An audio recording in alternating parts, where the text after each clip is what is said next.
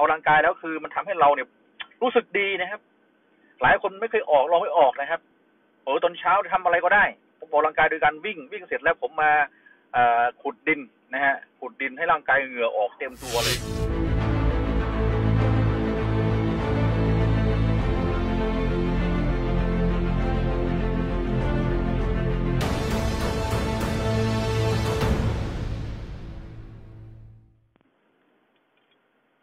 สวัสดีครับ ผมบุญถาวรปัญญาสิทธิ์วันนี้ออกมาพูดมาคุยกับพี่น้องประชาชนคนไทยทั้งประเทศ ในกรณีที่มีเหตุการณ์เกิดขึ้นอยู่ในสังคม ก็เป็นกรณีที่พี่น้องประชาชนหวาดหวั่นและก็หวาดระแวง ช่วงนี้หลายคนก็ต้องยอมรับว่าตกใจกลัว และก็มีความวิตกกังวลในกรณีนะครับ ในกรณีการแพร่กระจายของเชื้อโรคไวรัสโควิด -19 ไอ้โควิด เนี่ยนะครับ หลายคนบอกว่ามันไม่ร้ายแรงเป็นเป็นไข้หวัดธรรมดา หรือเป็นโรคติดต่อที่สามารถรักษาได้แน่นอนครับ ถ้าหากเราได้รับยาที่ถูกต้องมันก็รักษาได้ แต่ดีที่สุดคือการป้องกันนะครับทำยังไงเราจะไม่ติดเชื้อสำคัญที่สุดคือพี่น้องประชาชนครับไอ้เชื้อโรคตัวนี้มันไปกับรูปแบบของอะไรครับ ในกระแสลมนะฮะแล้วก็ในการติดต่อผ่านคน หรือสิ่งของการจับประตูจับ มือจับไม้แล้วก็รับเงินเงินนี่ยังติดเชื้อได้นะครับ คือไวรัสตัวนี้มันสามารถที่จะติดเชื้อโดยการสัมผัสนะครับ มันก็เป็นกรณีที่พี่น้องประชาชนต้องรู้จักวิธีการเอาตัวรอด หลายคนบอกว่าวันนี้บุญทาวรต้องไม่ต้องโอพูด คือผมมองว่าร่างกายเรานั้นถ้าหากมีภูมิต้านทาน นอกจากที่เราจะไม่ฉีดวัคซีนแล้วเนี่ย เราก็ต้องสร้างเอง สร้างเองไงครับ คือร่างกายเรานั้นมันต้องมีการทานอาหารครบห้าหมู่นะนอนพักผ่อนให้เพียงพอ และสำคัญที่สุดคือการออกกำลังกายครับ ออกกำลังกายสำคัญที่สุดนะวันนี้ถ้าหากเราตกงานนะครไม่มีเงินไม่มีงานแน่นอนครับ จิตใจเราก็หวั่นไหวจิตใจเราก็อ่อนแอ แต่สิ่งสำคัญที่สุดวันนี้ผมเข้าใจพี่น้องประชาชนว่ามันลำบาก หลายคนก็พออยู่พอกินก็เป็นไปได้ ไอ้คนที่ไม่มีจะกิน มันก็หดหูมันก็วิตก หันหน้าไปทางไหน มันก็มีแต่เรื่องมีแต่ราวผมเข้าใจ แต่สิ่งสำคัญคือจิตเราต้องไม่ตกสำหรับคนที่จิตไม่ตกแล้วนี้ ถ้าหากเราจะป้องกันตัวเองโดยหลักการง่ายๆนะครับ คือเราต้องออกกำลังกาย ตื่นเช้าขึ้นมานะครับ เราทำกิจวัตรประจำวันแล้วอย่างน้อยหนึ่งชั่วโมง ต้องให้เหงื่อออกครับพี่น้องประชาชนครับเหงื่อเราต้องออกท่วมตัวเลย ไม่ใช่ว่าเดินเล่นๆไม่ได้ออกกำลังกายให้ร่างกายเนี่ยได้รับการ ขับเคลื่อนเคลื่อนไหวนะขับสารพิษในร่างกายผ่านทางรูขุมขนคือเหงื่อนะออกแบบเต็มเต็มที่เลยนะฮะสองคือเราต้องให้มีการตากแดดนะฮะออกกำลังกายแล้วต้องไม่ใช่ว่าออกกำลังกายในห้องแอร์อย่างเดียว คือแดดเนี่ยมันจะมีพลังงานหรือตัวที่บอกว่าความร้อนเนี่ยไปฆ่าเชื้อได้ ต้องให้ต้องตัดแดดนะครับ เสร็จแล้วเราก็ทานน้ำอุ่น น้ำอุ่นนี้สำคัญ พยายามอย่าทานน้ำเย็นนะครับ คือน้ำอุ่นหนึ่งเราก็อาจจะชงชา หรือว่าเราจะกินน้ำอุ่นนะธรรมดาก็ได้ ทานน้ำอุ่นให้มากๆนะครับ หลีกเลี่ยงคือการทานน้ำเย็นนะครับ แล้วก็หลังจากนั้นตอนกลางวันเราก็พักผ่อนให้เพียงพอ คือใช้ชีวิตนะครับสำคัญที่สุดคือเราต้องอยู่ในจุดที่ไม่สุ่มเสี่ยง หลีกเลี่ยงพยายามที่จะหลีกเลี่ยงที่สุดก็คือการไปอยู่ในแหล่งชุมชน คนจำนวนมาก ทุกวันนี้ต้องยอมรับว่าทุกตำบลนะทุกอำเภอทุกหมู่บ้าน มีโรงพยาบาลสนามนะครับ ก็คือคนที่ติดเชื้อก็ไปกักตัวอยู่ตรงนั้นนะบางคนหายใจไม่ออกนะเพราะว่าไวรัสมันลงปอดนะครับ มันก็จะทำให้เราปวดร่างกาย เวลาเชื้อโรคไวรัสโควิดเนี่ยนะครับ มันลงปอดเนี่ย มันจะทำให้ร่างกายเราเนี่ยเจ็บพลิกซ้ายพลิกขวาไม่ได้เลยนะครับ นะฮะเพราะอะไรครับ คือจะหายใจแรงก็ไม่ได้ สูดหายใจเข้าลึกๆก็ไม่ได้ ดังนั้นสำคัญที่สุดคือต้องอยู่ในจุดที่ปลอดโปร่งนะดีจุดหนึ่งคนที่อยู่ต่างจังหวัด พยายามอย่าเข้าไปในเมืองนะฮะแล้วก็ให้อยู่ในบ้านและอยู่ในอาณาเขตบ้านตัวเองออกกำลังกายนะอย่างผมโชคดีหน่อย ผมอยู่ต่างจังหวัดบ้านผมอยู่ห่างผู้คนนะเป็นกิโลเมตร ก็มีรั้วรั้วพอคิดมีนายเขตตัวเองก็ออกกำลังกาย อยู่ในตรงนั้นนะครับ ในการไปในเมืองแต่ละครั้งเราก็ต้องระวังนะฮะพก และก็สำคัญที่สุดคือการจ่ายเงินเนี่ยนะครับในซื้อของรับเงินคอนกลับมาถ้าหากเราใช้ผ่านแอป เราใช้ผ่านแอป หรือว่ามีการโอนเงินดีกว่า เงินนี่สำคัญนะครับ มันอาจจะติดเชื้อตรงนี้มา และในหนึ่งวันเนี่ยต้องออกกำลังกายอย่างน้อยสองเวลาหนึ่งคือตอนเช้า อาจจะหกโมงครึ่งถึงเจ็ดโมงครึ่งอ่าหนึ่งช่วงแล้วสองนะครับ ช่วงเย็นช่วงเย็นนี่ก็สำคัญ คือเราออกกำลังกายระหว่าง ห้าโมงเย็นถึงหกโมงเย็น และพยายามทานอาหารยาให้เกินนะครับสิบหกจุดสามศูนย์นนะฮะอาหารเย็นถ้าหากเลี่ยงได้ ไม่ต้องทานคือร่างกายเรามันก็มีภูมิคุ้มกันในตัวเอง ทุกวันนี้ผมไม่ทานอาหารเย็นนะออกกำลังกายเหงื่อออกก็กินนิดหน่อยผลไม้หรืออะไรว่าไป คือคือตอนนี้ผมกำลังศึกษาว่าการที่ผมออกมาออกกำลังกายแล้วก็หาวิธีการที่จะหลีกเลี่ยงไม่ให้ติดเชื้อโควิด โดยที่ไม่ต้องฉีดวัคซีนนะฮะ ผมมีความประสงค์ไม่ต้องการฉีดวัคซีนคือต้องการให้รู้ว่าที่ร่างกายเราเนี่ยมันสามารถสร้างภูมิคุ้มกันได้ไอ้โรคตัวนี้นะครับ นี่เป็นแนวผมเองนะอย่าเอาแบบอย่างนะครับ แต่ว่าผมพยายามจะศึกษา วันนี้ออกมาพูดกับน้องประชาชนว่า การออกกำลังกายแล้วคือมันทำให้เราเนี่ยรู้สึกดีนะครับ หลายคนไม่เคยออกลองไม่ออกนะครับโอ้ตอนเช้าทำอะไรก็ได้ ผมออกกำลังกายโดยการวิ่งวิ่งเสร็จแล้วผมมา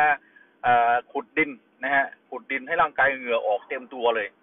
ร็จแล้วเราก็จะรู้สึกโล่งนะครับ โล่งมากเลย คือหายใจติดขัดหรืออะไรตอนเช้าตื่นมาเนี่ย มันมันจะโล่งนะเสร็จแล้วก็คือเราต้องพักผ่อนตอนกลางวัน หลายคนบอกว่าเอาเทคนิคนะฮะในกรณีที่ต่างประเทศโดยเฉพาะฝรั่งเศสนะครับ คือเขาจะนอนพักตอนกลางวันหนึ่งชั่วโมง ประเทศลาวนี่ดีนะครับเขารูปแบบของฝรั่งเศสมาใช้ คือลาวเนี่ยเป็นเมืองขึ้นของฝรั่งเศสนะฮะ ฝรั่งเศสเนี่ยคือไม่ใช่เมืองขึ้นคือเขารับวัฒนธรรมของฝรั่งเศสมาใช้ คือช่วงกลางวันเนี่ย เที่ยงตรงเนี่ยทานข้าวเสร็จหรืออะไรยังไง เนี่ย ต้องพักสักอย่างน้อยสามสิบนาที ให้ร่างกายเนี่ยนะครับ ได้รับการพักผ่อนเพียงพอ อย่างน้อยสามสิบนาทีนะครับ ค่อยทำงานต่อเราก็ทำงานแต่เราต้องทำงานเป็นระบบนะครับ อย่าทำงานจงเลยไม่ทำอะไรคือห้าโมงเย็นถึงหยุดหยุดเลยครับ งานไม่เสร็จก็ต้องหยุด ทำไม่ต้องหยุดครับ เราหยุดปุ๊บเนี่ยคือเราต้องไปออกกำลังกายทำให้ร่างกายนั้นมีภูมิต้านทานของเราเองพี่น้องครับ ถ้าเราไม่ออกเนี่ย ได้ไหมได้ต้องทำงานถึงทุ่มสองทุ่มสามทุ่มมันต้องทำให้เราเนี่ยครับหนึ่งมันไม่มีแรงต้านทาน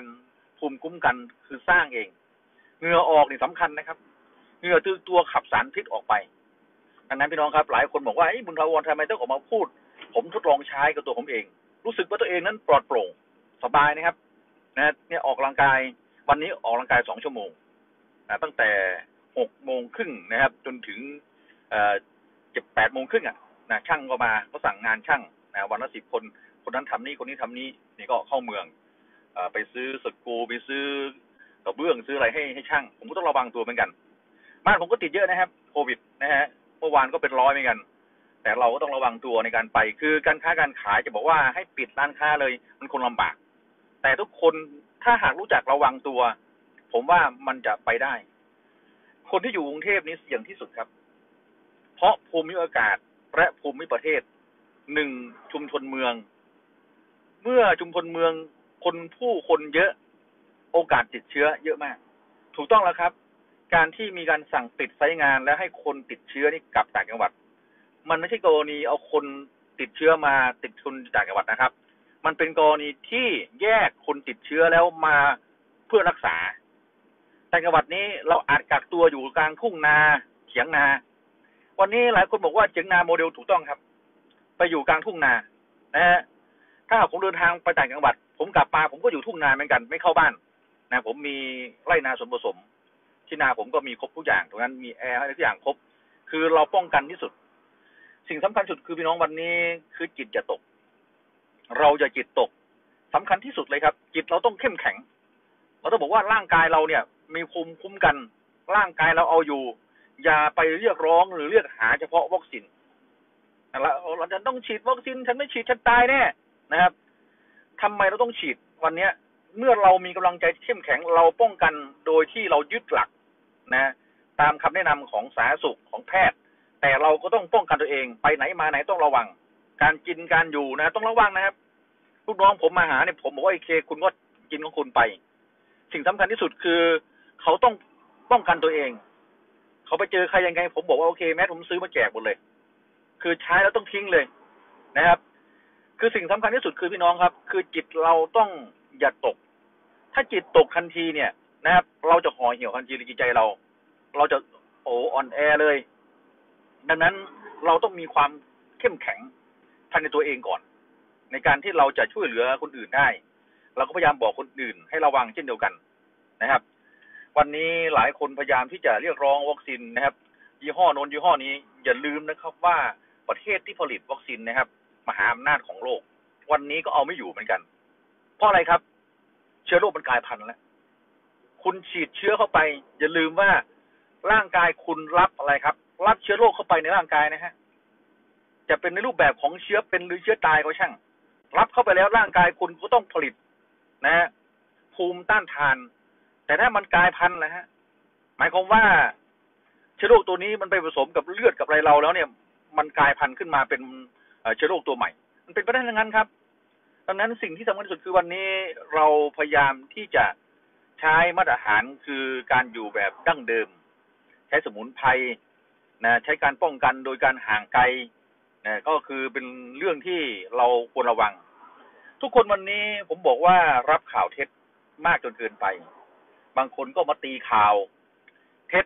บอกว่าวัคซีนยี่ห้อนั้นไม่ดี ยี่ห้อนั้นไม่ดี ยี่ห้อนี้เลวคือมันก็ทำให้พี่น้องจิตใจห่อเหี่ยว และกลัวในการที่ไปฉีดวัคซีนตอนนี้นะฮะเวลานี้ประเทศไทยเนี่ย ไม่ใช่วัคซีนไม่เพียงพอนะครับเขาฉีดทุกวัน แต่พี่น้องประชาชนบางคนก็ไม่อยากฉีด ฉีดแล้วกลัวผลกระทบบางคนก็บอกว่าซิโนแวคไม่ดี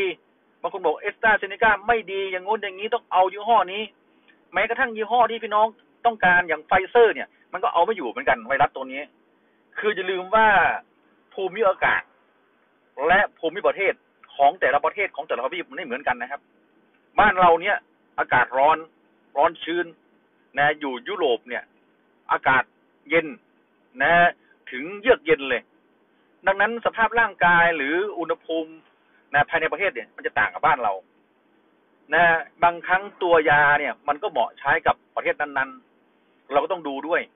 อันนี้ผมคิดในหลักของผมนะครับ ใครคิดหลักของใครผมไม่ทราบ แต่ผมบอกว่าวันนี้ที่ผมพูดเนี่ย ผมใช้หลักว่าเราป้องกันด้วยตัวเราเองก่อนนะหลายคนบอกไอ้ทุนเทาวทำไมไม่ฉีดทั้งที่มีโอกาสฉีดผมไม่ฉีด ไม่ใช่ว่าผมไม่กลัวนะฮะผมกลัวแต่ผมระวัง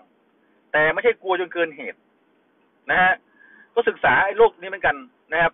พ่อผมก็เป็นหมอยาพื้นบ้านนะก็คุณพ่อเขาก็ทำสมุนไพรอะไรกันเราก็ศึกษาของเราเราก็กินของเรา ทุกวันนี้ก็เข้าเมืองแต่ละทีนะครับ ก็ซื้อแน่นอนครับ ซื้ออะไรครับพี่น้องครับ ผมก็ซื้อขิงนะฮะขมิ้นกระชายมาตุนไว้ อาหารทุกอย่างคือต้องใส่ขมิ้นใส่ขิงนะ แล้วก็ใส่พวกข่า คือมันก็กินเข้าไปในร่างกายมันร่างกายมันพวกนี้ขับออกไปด้วยกันนะพวกนี้มันกินมันมันจะมีกลิ่นแล้วก็ร่างกายเข้าไปมันก็จะขับเคลื่อน ไม่ใช่ขับสารพิษออกมาเหมือนกัน ก็ลองลองใช้สูตรผมดูครับ อาหารทุกวันที่ผมทำเนี่ยอย่างผมวันนี้ก็กินอาหารคือทำไก่นะอบไก่ใต้น้ำอย่างเงี้ยแล้วก็ใช้ขิงใช้ข่าตะไคร้ใบมะกรูด ใส่ครบสูตรเลย นะฮะแล้วก็สำคัญที่สุดคือการระมัดระวังในการไปเจอเจอผู้คน นะกลุ่มเสี่ยงเราก็อย่าให้มาอย่าไปนะฮะอันไหนที่หลีกเลี่ยงได้เราหลีกเลี่ยง มันขึ้นอยู่กับตัวเราปฏิบัติด้วยนะครับ ถ้าเราไม่ระวังตัวเอง แล้วไม่ปฏิบัติตัวเองให้ถูกต้องตามสุขลักษณะ ก็มีโอกาสติดเชื้อพี่น้องเชื่อไหมครับ ว่าน้องเขยผมเนี่ยเศรษฐีร้อยล้านนะครับอยู่กรุงเทพเนี่ยตอนนี้ติดเชื้อ ทั้งๆที่ไม่ได้ไปไหนนะครับเพราะอะไรครับ เชื้อมันมากับอากาศนะฮะบ้านเขาอยู่แถวปทุมธานี ตรงนวนครนะ หมู่บ้านตนายพิลมตรวจเชื้อวันนี้ได้จองห้องแล้วเพราะว่าทำประกันนะกับบริษัทเอกชนเข้าโรงพยาบาลเอกชนก็ต้องเข้าไปรักษาตัวแล้วเมื่อคืนก็คุยกันอยู่ บอกว่าเอพลิกตัวลำบาก เพราะว่าเชื้อน่าจะลงปอดแล้วตอนนี้ก็วันนี้น่าจะเดินทางไปที่โรงพยาบาลแล้ว นี่ขนาดระวังตัวสุดๆนะครับ เพราะว่าเขาก็ต้องไปเจอลูกน้องเขาลูกน้องเขาเนี่ยมีประมาณสองร้อยห้าสิบคน เป็นโรงงานผลิตนะฮะถุงขยะขนาดใหญ่นะครับ ก็ก็เป็นห่วงเหมือนกันครับ ถึงบอกว่าวันนี้สิ่งสำคัญเขาพยายามรักษาตัวเองมากเลยนะครับ แต่ในชุมชนเมืองเนี่ย โอกาสติดโควิด เยอะมาก เยอะมากกว่าต่างจังหวัด ดังนั้นพี่น้องต่างจังหวัดก็ฟังผมอยู่ก็ต้องระวังนะครับ ไม่ใช่ว่าอยู่ต่างจังหวัดแล้วไม่ระวังไม่ใช่ คุณเข้าชุมชนเมืองเมื่อไหร่ คุณก็มีเหมือนกัน มันมากับสายลมนะต้องระวังนะครับ การ อยู่การกินการรับอะไรต่างๆ ต้องระวังทั้งหมดนะตอนนี้มันมันมันมันไว้ใจใครไม่ได้แล้วพี่ต้องเข้าใจไหมครับคือไว้ใจใครไม่ได้ สิ่งสำคัญที่สุดคือ ไม่ใช่เราสั่งซื้อนะพวกของอาหารกินผ่านแอปนะ ให้เคอรี่ ให้บริษัทต่างๆ มาส่งเนี่ยนี่ก็สำคัญนะครับ กล่องกว่าจะถึงมาถึงบ้านเราเนี่ย มีอะไรบ้างก่อนรับเราก็ต้องใช้ในแอลกอฮอล์ฉีดฉีดฉีดฉีดต้องล้างมือไม่ใช่เป็นรับสุ่มสี่สุ่มห้า พี่น้องต้องระวังทุกกระเบียดนิ้วเลยนะครับ เพราะอะไรถ้าหากเราไม่ระวังเนี่ย ถ้าหากพลาดขึ้นมาเนี่ยลำบากนะผมก็อยากให้พี่น้องประชาชนทุกคนปลอดภัย ก็อยากให้ทุกคนนั้นนะได้กำจัดโรคร้าย ถ้าหากโรคร้ายตัวนี้มันหนีไป แน่นอนครับ มันจะไปช่วงไหนครับลมนะฮะมันอยู่มันแฝงตัวอยู่อย่างนี้บางทีมันต้องไปกับลม ถ้าลมมาอย่างแรงนะฝนตกอย่างแรงทั่วประเทศ ลมมาอย่างแรงมันก็พัดหนีไปได้ อันนี้เป็นไปได้นะครับ นะฮะ ถ้าหากอากาศร้อนชื้น แล้วก็ฝนไม่ตก ไม่มีลมเลยเนี่ย เชื้อตัวนี้มันก็อยู่เพาะอยู่ตรงนั้นแหละครับ แต่ถ้าหากว่าฝนตกแล้วลมมานะครับ ลมก็จะพัดตรงนี้ลงหนีทะเลไปนะฮะมันก็หนีไป มันก็เป็นไปได้ แต่วันนี้ที่ออกมาพูดพี่น้องครับ ว่าเราจะทำอย่างไรในช่วงสถานการณ์โควิดหนึ่งจิตเราจะตกสองเราจะต้องปฏิบัติตามคำแนะนำของแพทย์ หรือสาธารณสุขอย่างเคร่งครัดสาม เราดูแลตัวเองให้ถูกสุขลักษณะ พยายามออกกำลังกายให้มากที่สุดนะพี่น้องครับ วันนี้ผมทนายบุญถาวรปัญญาสิทธิ์หรือปัญญาบริโชตออกมาพูดมาคุย ให้พี่น้องประชาชนได้เข้าใจหลัก คือผมก็พยายามหลีกเลี่ยงที่สุดนะครับ ในการเข้าในเมือง แต่ด้วยภาระหน้าที่ในการต้องไปซื้อของของใช้จับจ่ายอุปกรณ์ช่างต้องเดินทาง แต่ระวังที่สุด วันนี้ออกมาเรื่องที่จะให้พี่น้องได้เข้าใจหลัก คือการกินอาหารให้ครบห้าหมู่หลีกเลี่ยงในการมั่วสุม ในการไปชุมนุม หรือการสังสรรค์ช่วงนี้อะไรหลีกเลี่ยงได้ก็หลีกเลี่ยงก่อนนะครับ เราเอาตัวให้รอดให้ปลอดภัยพี่น้องครับคนเราหากคิดทำความดี อย่าจนความคิด อย่าจนความคิดหากคิดทำดี หากเรามีหลักคิดที่ดีนะครับ ขอให้คิดดีพูดดีทำดีก็ถือว่าเรามีพื้นฐานเป็นคนดีแล้ว วันนี้ผมทนายบุญถาวรปัญญาสิทธิ์นักกฎหมายทนายความและผู้เชี่ยวชาญประจำตัวสมาชิกสภาผู้แทนราษฎรวันนี้ สวัสดีครับ อย่าลืมกด subscribe และกดกระดิ่งด้วยนะคะ